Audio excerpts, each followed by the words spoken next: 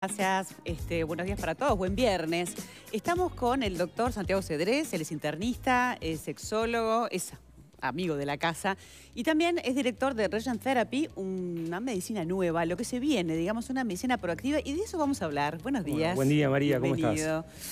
Se habla de medicina 4P, medicina proactiva. Contanos de qué se trata. Es un nuevo enfoque médico que decimos que es la medicina para este nuevo tiempo. Es la medicina que tenemos que hacer. Quizá podemos decir que el enfoque médico tradicional era este, tratar las enfermedades cuando ya estaban diagnosticadas. Enfermedades crónicas que uno buscaba compensar o enfermedades que uno diagnosticaba cuando ya estaban todos los síntomas sobre la mesa. Hoy por hoy el enfoque médico es necesario eh, actualizarlo y poder tener un enfoque mucho más proactivo, mucho más este, determinado a poder predecir qué enfermedad va a tener el paciente para garantizar la calidad de vida en salud, que eso es lo más importante. Y el ser proactivo, digamos, predictivo y proactivo, como decís vos, y personalizado, implica hacer estudios que de repente hoy, dentro de lo que habitualmente nos hacemos, no están. Sí, son estudios que exceden un poco a lo que son los estudios de rutina, digamos, que uno hace en su centro de salud habitualmente. Esta nueva medicina, que es la medicina proactiva, implica, por un lado, ser personalizada, es decir, que hay que adaptar al riesgo a enfermar de cada paciente las medidas a tomar y los estudios a indicar. Por otro lado, fundamental el ser participativa. Esto implica darle y empoderar a la persona de los datos que tiene en salud para poder buscar un, entrenamiento activo en su calidad de vida. Hoy por hoy ya no hay más la salud pasiva. Por eso hasta el término de paciente está muy desafiado. No es paciente que esto se, se, linkea con lo que es la pasividad, al contrario, la salud es activa y tenemos que trabajar para ser sanos. Por otro lado, la medicina predictiva y preventiva, es decir, poder ver qué riesgo a enfermar tiene la persona que, que, consulta, la persona que estamos tratando y en función de eso aplicar todas las medidas que tenemos. Claro, no es aquello que hacíamos de ir a buscar la pastilla mágica que el doctor nos va a dar para curarnos. Exactamente. ¿no? Uno si, si asume y se hace responsable de lo que tiene que hacer, cambiar hábitos saludables, que bueno, todos sabemos lo que hay que hacer, comer sano, hacer ejercicio, pero a veces no es tan fácil o no está dentro de lo que hacemos normalmente. E, en este caso, una vez que uno tiene la información, em, ¿se acompaña el paciente en este proceso? Claro, es fundamental. una vez que, se diagnostica, se dice paciente consulta. Bueno, se hace un primer ateneo médico donde se ve qué es el riesgo a enfermar que tiene. Y ahí se hace la historia clínica completa, qué antecedentes familiares tiene, qué antecedentes personales tiene, qué riesgo a enfermar tiene. Se diseña el tipo de estudios adaptados a ese paciente para predecir de qué va a enfermar, qué riesgo tiene enfermar y en función de eso se hace la estrategia terapéutica. ¿Y cuáles son los estudios, Santiago, que aquí no se hacen y que son los predictivos, que es lo que, te, es lo que te da la información de lo que potencialmente podés padecer. Eso fundamental, en primer lugar, son los estudios genéticos. Hoy por hoy el poder que tienen nuestros genes de poder decirnos de qué nos vamos a enfermar es fundamental. Esto se hace una pequeña toma de, saliva con un, con un hisopo de la mucosa yugal y se envía directamente al laboratorio en Londres.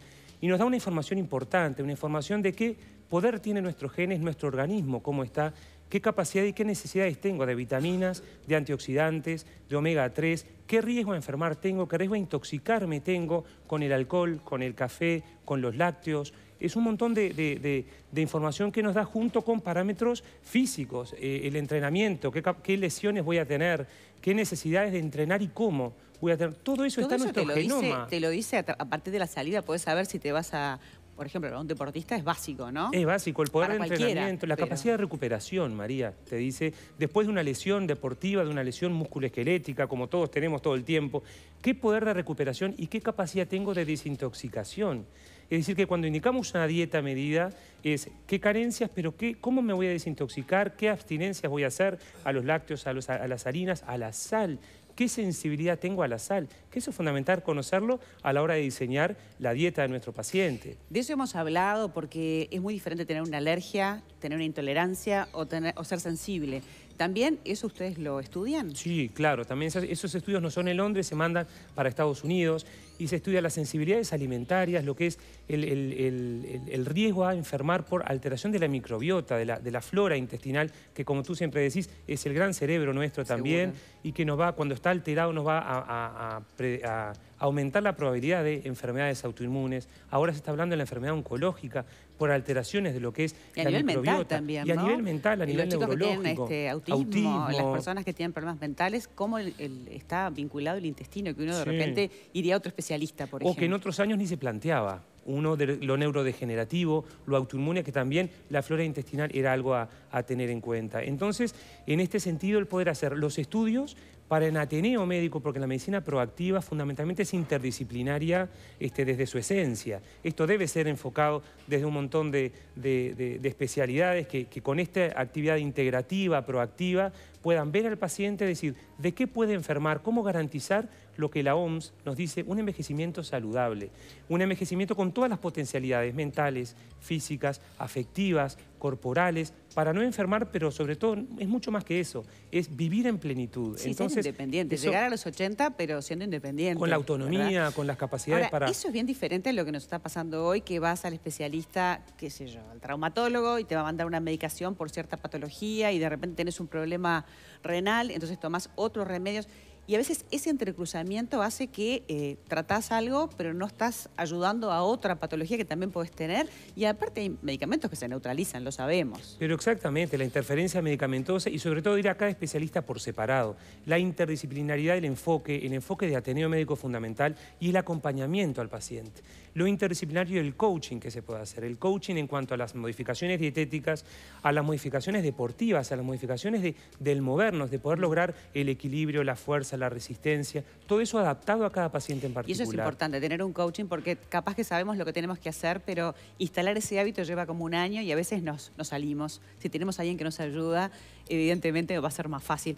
Buenísimo. Cambia todo, cambia todo el poder tener el enfoque interdisciplinar y el acompañamiento este, en lo nutricional, en lo deportivo, para evitar el riesgo de enfermar y poder garantizar una salud, una salud y una calidad esta medicina que llegó para quedarse. Te invito, Santiago, y a ti y a todos ustedes a conocer en avances qué es lo que presentamos en calidad de vida este próximo domingo.